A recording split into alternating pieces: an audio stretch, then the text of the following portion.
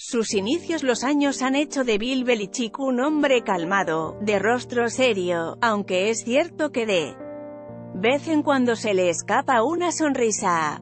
En 43 años en la NFL el monje ha encontrado siempre la manera de conseguir lo que quiere. Con cinco anillos, es el entrenador en jefe más ganador de la historia, aunque sabe que en este mundo frenético más le vale seguir haciendo de su marca una utopía. Belichick llegó a la NFL en 1975. Tras un breve paso como capitán de un equipo de la Cross, se enroló como asistente del Soch Ted Marchibroda en los Baltimore Colts. Posteriormente, tuvo participación como asistente de puestos defensivos en Leones, Broncos y Gigantes.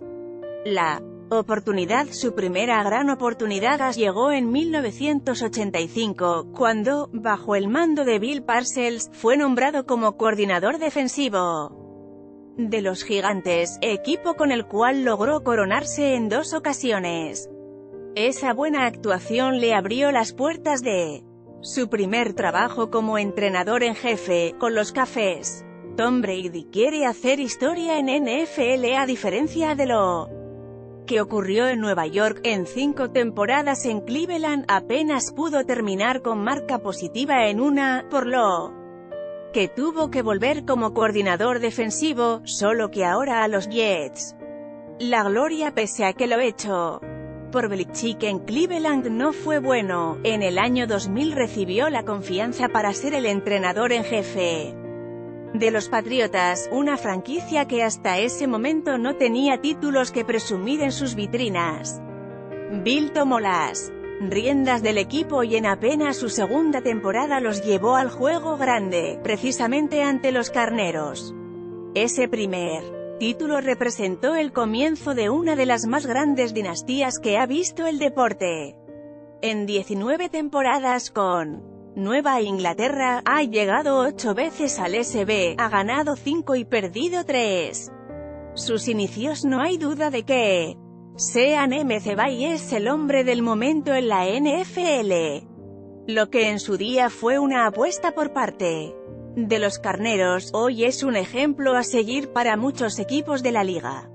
Él ha logrado convertir la juventud en virtud. Con su vitalidad ha convencido a un equipo de que todo es posible si se cree y se trabaja. Con 33 años busca convertirse en el entrenador en jefe más joven en ganar un Super Bowl.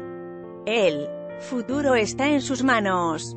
Tras una breve carrera en el fútbol americano colegial, MC Bay llegó a la NFL con 22 años. Consciente de que su desarrollo no estaba dentro del emparrillado, sino fuera, se enroló como asistente de receptores en los Bucaneros. Su camino continuó en el 2010 en los Pieles Rojas, equipo en el que siguió perfeccionando su estilo ofensivo en puestos como entrenador de alas cerradas.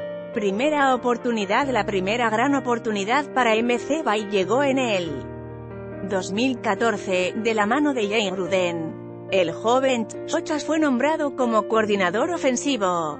Con 28 años, consideraron que sean tenía las tablas necesarias para cumplir con las expectativas, y no decepcionó.